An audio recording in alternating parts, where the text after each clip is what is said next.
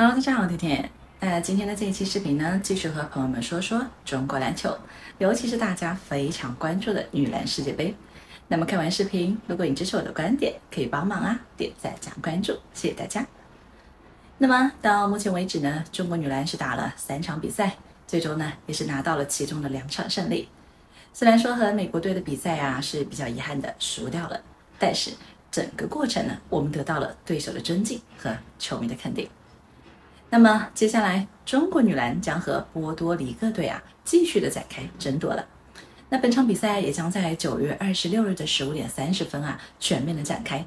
，C 类推五的体育频道也将全程直播。那波多黎各呢，在国际范围内啊是可以称得上是一支强敌了。过去的三场比赛当中啊是一胜二负，先是大比分的战胜了波黑，然后呢又是以六十四分的巨大分差输给了美国。之后的三分呢是惜败了比利时。波多黎各呢能力最强的球员啊是当属后卫啊吉兰特斯，过去三场比赛可以场均贡献二十分、八篮板、四助攻、三抢断，完全可以称得上是一名全能的战士。那身高一米八零的他呀，既可以担当后卫，也可以担当小前锋。那他的打法和中国女篮的李梦极为的相似，都是本届世界杯的最强小前锋。因此啊，本场比赛对于李梦来说，绝对是迎来了一名超级对手。上一场比赛啊，李梦是面对了美国队，展现出了自身的超强能力，就连美国队的主教练啊都对其啊盛赞不已。而本场比赛啊，李梦啊必然会继续的砍瓜切菜，特别是在和自己的角色极为相近的对手面前，李梦必然也会把握住机会，更好的展现自身的能力。那本场比赛呢，中国女篮最大的优势莫过于内线双塔组合。要知道啊，波多黎各的实力最强的内线中锋霍林希德身高只有一米九三。中国女篮的二中锋黄思静啊，都要比她高出很多。更何况啊，韩旭和李月茹组成的双塔，上一场呢和美国之间的对决，韩旭是贡献了一十四分七篮板，命中率是超过了百分之五十。那面对美国队强硬的内线，丝毫不惧。在威尔逊啊，面对连续两次强打得手，除了进攻端表现出色以外啊，韩旭在防守端呢更是毋庸置疑了。两米零七的身高，使得他的封盖能力是极为的突出。